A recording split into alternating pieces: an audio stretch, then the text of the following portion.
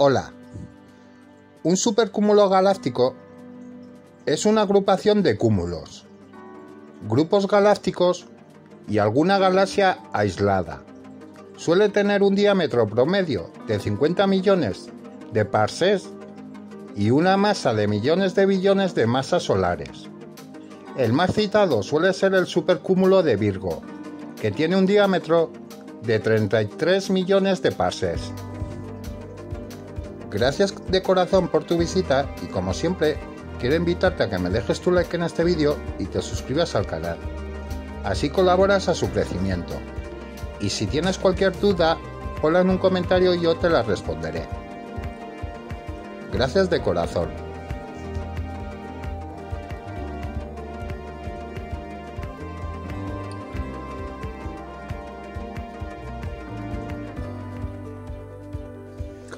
Hola, bienvenidos al canal Astronomía y Cosmología.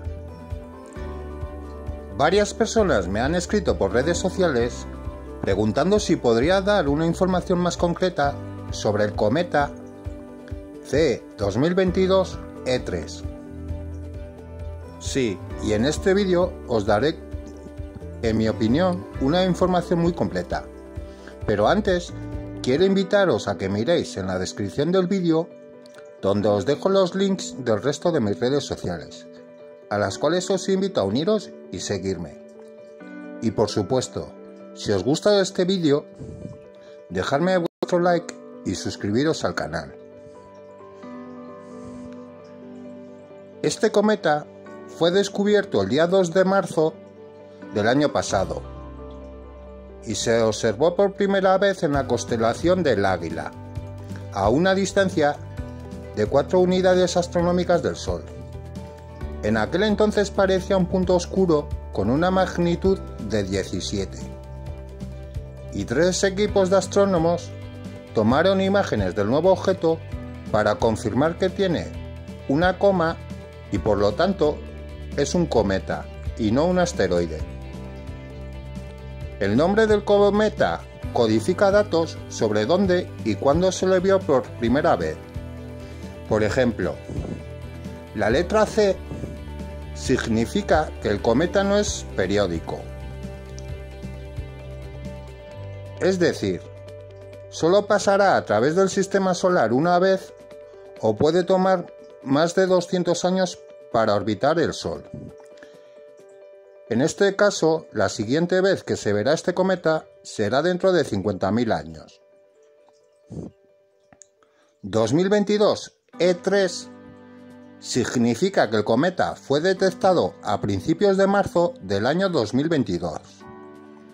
Eso se correlaciona con la letra E de acuerdo con el sistema de nomenclatura de cometas, el cual es aprobado por la UIA. Perdón, por la UAI. Y fue el tercer objeto de este tipo descubierto en el mismo periodo.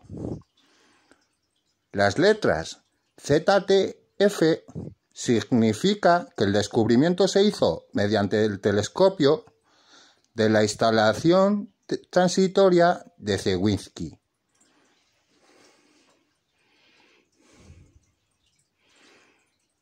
El cometa ahora se dirige hacia el sistema solar interior, gradualmente haciéndose más brillante. El 12 de enero de este año alcanzará el perihelio, o sea, se acercará más al Sol, a una distancia de 1,11 unidades astronómicas.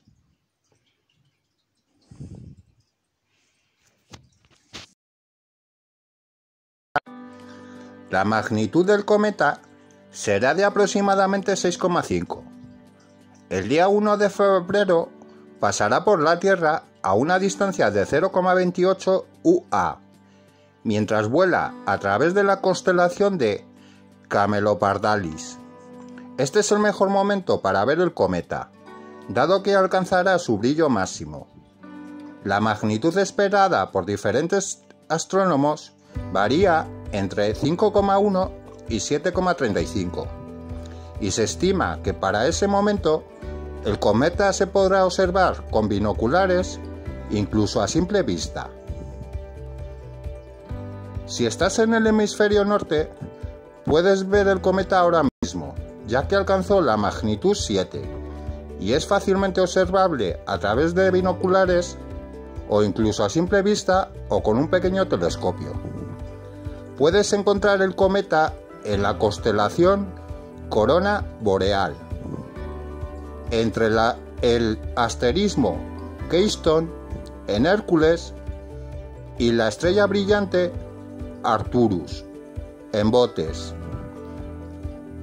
Los observadores del hemisferio sur podrán ver el cometa solo a principios de febrero del presente año. A mediados de enero del 2023, el cometa se trasladará a Botes. Luego visitará Draco y también la Osa Menor durante un par de días para alcanzar su punto más brillante el día 1 de febrero en la constelación de Camelopardis. Camelopardalis. Para entonces reaparecerán los cielos del sur y se podrá ver en todo el mundo con binoculares y con suerte a simple vista.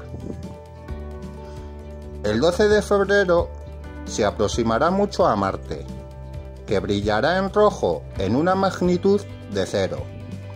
Ambos objetos estelares ubicados en la constelación de Tauro y pocos días después, el 15 de febrero, el cometa pasará cerca de la estrella brillante de Aldebarán, que tendrá una magnitud 1, y el cúmulo estelar de las Iades. Conclusión. El cometa ya se puede ver con binoculares y telescopios. Para el 1 de febrero alcanzará su brillo máximo y se convertirá en un objeto visible a simple vista. Deseo que con esta información todos ustedes puedan observarlo. Y como siempre, gracias de corazón. No se olviden de suscribirse y dejarme su like.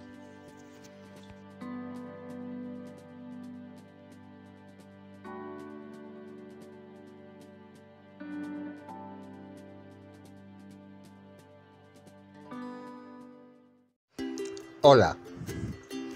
Un neutrino es una partícula fundamental subatómica, esto es, de masa muy pequeña, similar a la del electrón, desprovista de carga eléctrica, y son muy difíciles de detectar porque la gran mayoría de ellos pasan a través de la Tierra sin interactuar con ella. Gracias de corazón por tu visita y como siempre, no te olvides de dejarme tu like y si te gusta el canal, suscríbete.